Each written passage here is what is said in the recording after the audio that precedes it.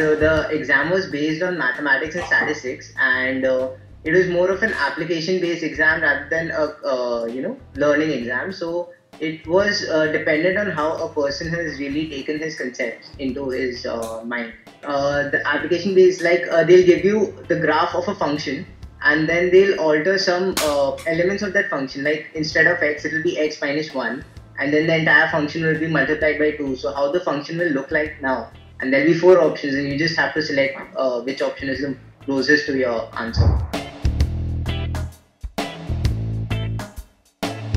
Uh, exam is uh, like a bit more inclined towards statistics and uh, in statistics it gives more focus on uh, probability on distributions on basic normal distributions and in stat uh, in maths actually yeah it's more inclined towards calculus and matrix algebra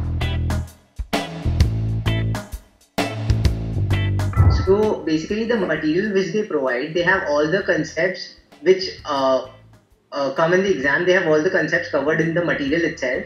So there's really no need for any other material to study from. And uh, if a student thoroughly uh, follows that material and solves the questions which they give, they give a question bank along with the material.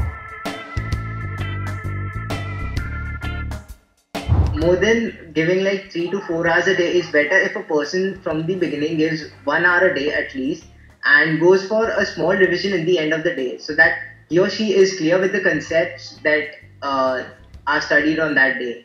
That will really help. Yeah, I took up economics in IIT Kharagpur, but like I have uh, subjects in mathematics department like probability and statistics which I have taken up so that I get help in actuaries. So yeah, it's included in my curriculum actually. By alongside economics, you should have a knowledge in maths and stats.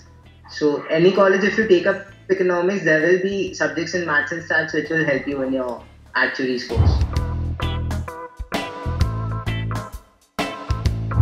Like uh, after graduation, I'll have to go for a job and I'll simultaneously pursue my actuaries course and specialization courses so actually, by the time a student clears the first level of actuaries, that is eight papers, uh, you will be at the time of your graduation, and so you will be applying for a job.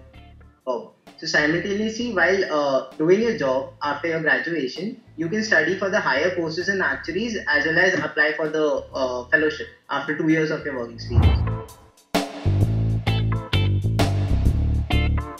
Uh, no, actually, my motivation are my interests. So it, it really keeps me going to, you know, the subjects are never like, uh, I have to study this, but I want to study this. That's actually my feeling when I uh, study something.